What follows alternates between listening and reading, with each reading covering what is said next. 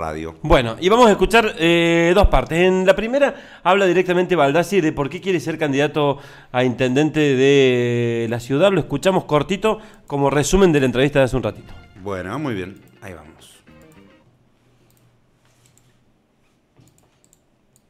¿Por qué querés gobernar Río Ceballos? Evidentemente que creo que es necesario cambiar la realidad, fundamentalmente. Esta ciudad mm, veo que se ha parado, y esto no, no lo digo yo, es una sensación que también me la transmite cada vecino que, con el cual tengo la oportunidad de, hablar. Vemos alrededor ciudades con las mismas características, con las mismas posibilidades, y vemos cambios, vemos avances, quizás algunos más, más otros menos, pero avance.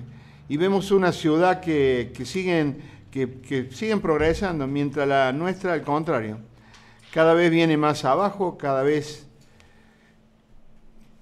el desgano, esta desvinculación de, de, de lo público y lo privado en, en cuanto al alejamiento. Una cosa llamativa, las instituciones, nuestras instituciones intermedias, llámese centros vecinales, clubes, andan a la deriva, o sea, lo hacen a través de esfuerzos propios, de esfuerzos de, de, voluntades particulares, y me parece que es necesario cambiar.